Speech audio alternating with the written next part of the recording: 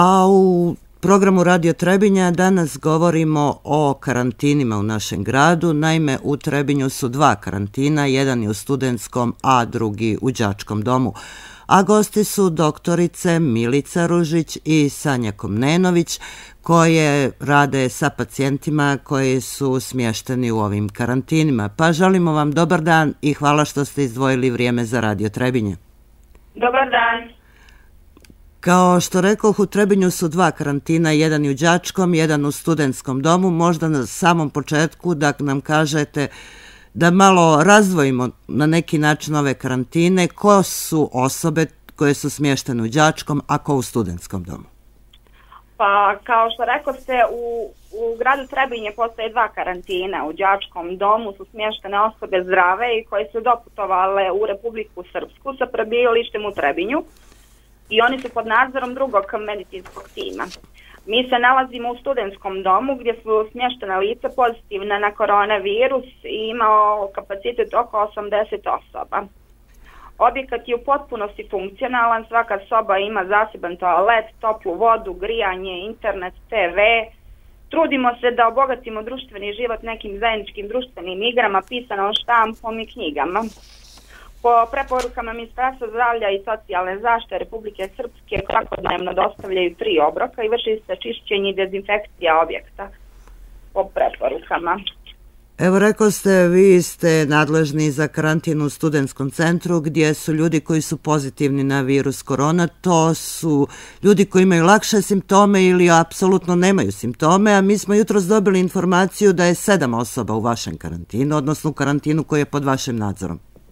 E, tako je, u ovom trenutku pod zdravstvenim nadzorom je sedam osoba i sve osobe su dobrog opšteg stanja, odnosno imaju lakšu kliničku sliku. E, zaista moramo da pohvalimo sve osobe koje se nalaze u karantinu jer sa njima imamo jako dobru komunikaciju. U našem medicinskom timu imamo dva ljekara i četiri medicinska tehničara i u stalnom smo kontaktu sa osobama koje se nalaze u karantinu i e, po potrebi e, u kontaktu i sa epidemiolozima, infektologom i e, doktoricama pulmolozima. Imamo dobru komunikaciju i sa osobama koje su zadužene za tehničku podršku, odnosno za tehničke i dio posla. U krugu objekta e, 24 sata se prisutne su, e, prisutna je žandarmerija, odnosno pripadnici MUPA, e, tako da smo i na taj način zaštitili korisnike karantina. Posjete su naravno izričito zabranjene. Eto, to bi bilo to a 24 časa je nadzor ljekara zdravstvenih radnika. Kako se on odvija u praksi? To su komunikacije vjerovatno i telefonom i u slučaju da ljudi primijete da imaju neke dodatne simptome, nešto što im je možda sumnjivo.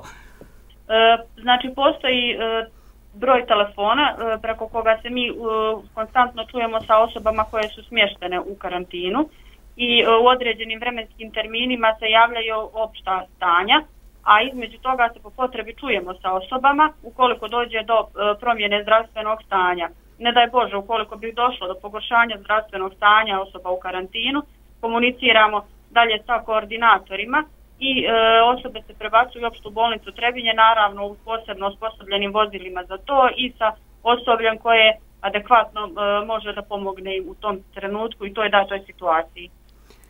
U svakom slučaju virus korona je nešto novo za cijeli svijet, pa samim tim i za našu lokalnu zajednicu i za nas sve.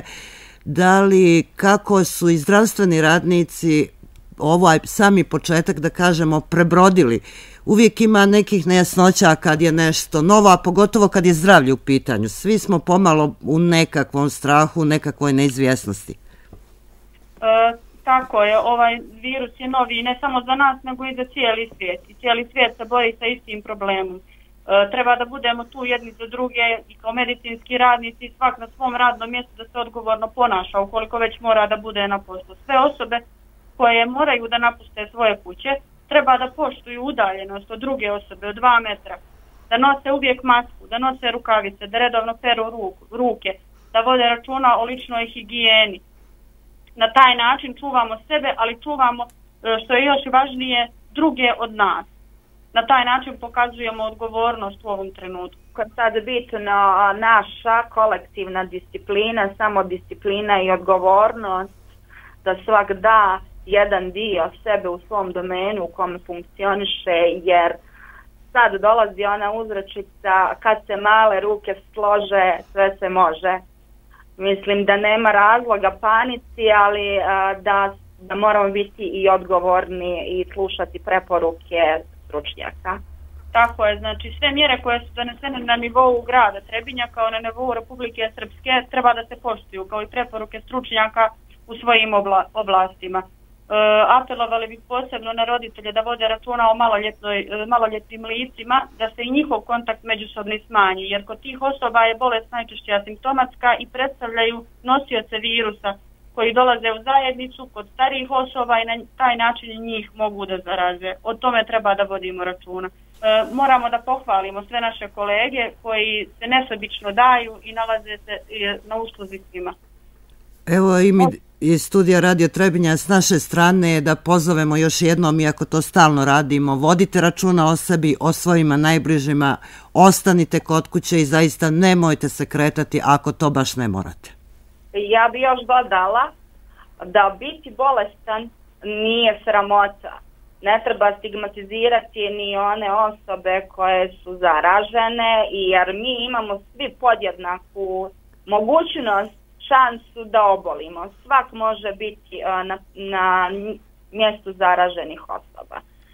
Tako da molimo malo i razumijevanja i discipline, e, bez panike, tu smo.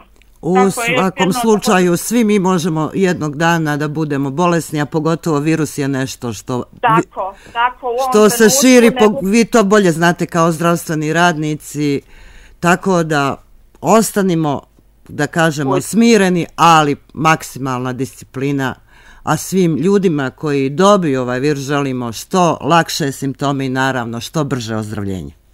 Tako je. Naravno.